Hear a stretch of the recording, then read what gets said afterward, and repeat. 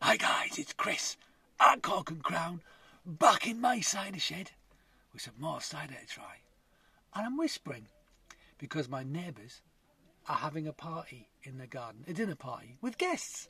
And probably what they don't need is, a, is some northern bloke in a shed shouting about cider, putting a damper on things, spoiling the mood. That's not my jam. I don't want to do that. So I'm going to keep it down for a bit, and I'll probably get more vol- uh, uh, voluble as things go, as I already have. Anyway, it's another one from Andrew Greenough. Greenuff? I spoke to him the day on the phone. He's, he called me up. I hadn't called him. There was no email, nothing like that. I couldn't get in touch with him. Um, there was a phone number that he uh, left on, in my inbox. I think it was it was half term. I was busy, and then I forgot. Anyway, he called me, which is great. So I got to talk to him uh, about the cider he sent me to say thank you for starters, and also to chat about cider in general. And it was a really nice conversation. It was very interesting. I'd love to visit him at some point. He's in the middle of nowhere in Wales on a mountain, basically. So it might be difficult, but one day, Andrew, I'll try and make it happen. Anyway, it's the third of the three ciders he sent, and it's this one. It is the Somerset Apples, Yarlington Mill, Somerset Red Streak, and AN Other. Now, um, Yarlington Mill, as I told Andrew on the phone, is one of my favourite cider apples by some margin, I think. I love it. Somerset Red Streak, classic cider apple, and AN Other, never had that one. So let's try it. Anyway, basically he told me all about it, but in the letter he sent me, there's also some blurb. So I'm going to read it out because it, it summarises what he said. There are three bottles for you to try. The first one is a cider I made years ago, no date on it, and which I didn't like and abandoned at the back of a shed. Welcome to my world. My intention was to pour it away and reuse the bottles, but never actually got around to it. A friend came up to cut some logs and asked if he could try it. What amazed me was that he came back and asked for more, and then asked for even more to take on holiday with his friends, cider drinkers from Bristol. Anyway, see what you think. Uh, Somerset organic apples from a abandoned orchard. They were Somerset Red Streak Yarlington Mill and a third identif- unidentified variety, natural yeast, no sugar, etc. Oh, sorry, I missed a bit out. They apparently liked it too, so I thought I'd better try it. I thought it was okay, but a bit dry for me. So Andrew likes a bit of residual sugar. I don't have a problem with that. I like the sugar as well. I like it very much indeed. But I also like dry cider. You know, if it's good, it's good. That's end of discussion. Right, so let's take off this lovely label. These labels, I've been liking very much. I'm hanging them up in my shed over here. Uh, so if I can get it off without knackering the string, come on, come on, come on. Oh, nearly there. Boom. I'm going to hang you up with the others, my friend. There you go. Right, so he also apologised because he hadn't cleaned the bottles, so they're a bit dirty because he had a lot of them. And he's a busy man, you know. He's got a farm on a hill in Wales. He's got stuff to do. Um, I said it didn't bother me at all. I kind of like dirty bottles. In fact, if you saw a very expensive bottle of Burgundy covered in dust, you wouldn't go, "Oh, they haven't cleaned it." You go, "That's probably worth a lot because it's covered in dust. It's obviously very old and special." Anyway, let's open it and see what happens. I don't know if this is sparkling or not. Actually, let's find out. It is still no problem. Cider salon glass. We like the cider, so let's pour it out. Have a look. So it is hazy. So the flavour he said he had in it. So we had a conversation about off flavours, about mouse and stuff, and uh, also uh, some. So I didn't think I could detect mouse, and now I think I can due to a a tasting I did of Thorn Perry from Buffalo Organics, two different tastings. I'll put the, the numbers on the screen so you know which tastings they were. But he said no, it wasn't that. He said it was like a chemical flavour, like a, like a chemical. He couldn't identify identify exactly, but it's like a chemical flavour. So it was like a clean. He doesn't add anything to these. Anyway, whatever. So, oh, let's do it properly. Mouldy thingy, thingamajig. There you go.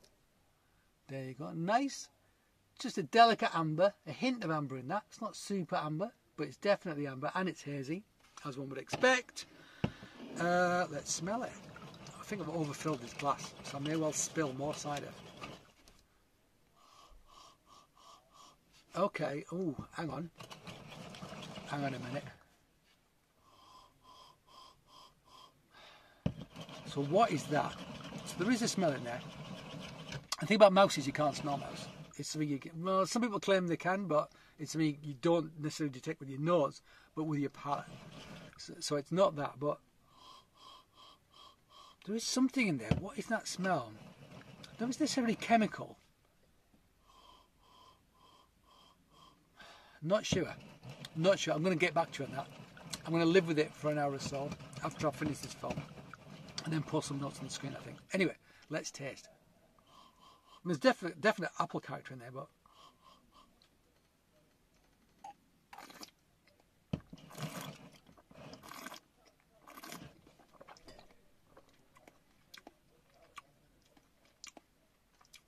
hint of tannin, which one would expect from Downton Mill. There's subtle apple flavour. It's quite a, there's, there's, a hint of well, it's not really malic. I don't know if it's gone through um, um, oh god malolactic fermentation, but it feels more like a lactic acid to me than a malic acid. So let's just say yeah to that. Um, I think there is a flavour in this though, which is slightly unusual, and it's not a typical um,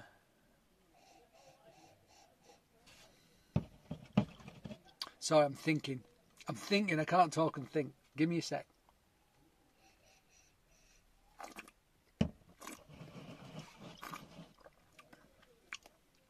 Hint of a prickle. Delicate acidity. Delicate appleness. Appleness. That's a new word. But boom, there you go. Appleness. Hint of like apple skin. But I think there is something else going on in here. And it smells like. It's making me think of like petroleum. That's what it's making me think of. Petrol thing. And not like a new Wellington boot smell. Not the sort of thing you would get in like a, a really great Riesling from Austria or Germany or something like that. It's not a new Wellington boot, and I know that smell cheesemonger, 20 odd years, lots of Wellington boots, lots of new ones. I love the smell of a new Wellington boot, and I love that smell in wines and so forth. But that, to me, smells more like the forecourt of a petrol station. So I don't know how powerful that aromatic was before Andrew. It may have diminished a bit, but I think it's still there. I think it's still there for me, and it's pretty obvious. So yeah, it smells. Now all I can think of is the forecourt of a petrol station. That's it. That's it. And it's not. I don't hate that smell. It's a very odd smell to get inside of, and it is a fault. And I think Andrew's original judgment was correct. So that's actually is a tick. You know, that's a tick. That means he smelt something. He wasn't sure about it. He's like, that's not how I want it to be. And I think I'm getting it as well. I think I'm getting it as well. But you know what? There's nothing wrong with that because it's a learning curve. Andrew has planted a load of trees on a farm in Wales. He's figuring things out as he goes. It's a hobby. He's not sure if he even wants to do it professionally. It's just a hobby, but by God, he's he's putting a lot of work in for something that's just a hobby. When you've got like a thousand bottles of cider sitting around of a vintage, you know, in a shed, then crikey, you know, that's um, that's commitment to a hobby and some. But I agree with you, Andrew. I think you made the right decision. I think that smells like a petrol station forecourt, and I'm not sure people want to have that when they drink their cider. And I have to say, I don't recall ever having that in a cider before, and I wonder what's caused it. It's very unusual, very unusual. Anyway, it's a learning curve. It's a learning curve. So highs and lows. But you know what? This is something he just sent me because well he had it and he didn't like it, so he thought, well, let's give it a shot and quite right too. And also, he entered a load of cider into the West Shore.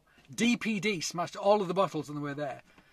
Bad DPD, bad DPD. Take more care of your packaging because I'm sure, based on the other stuff that I've tried, I think it did all right. I think it did all right. Anyway, thank you for joining me back in my cider shed. I hope you join me again, but until that time, cheers.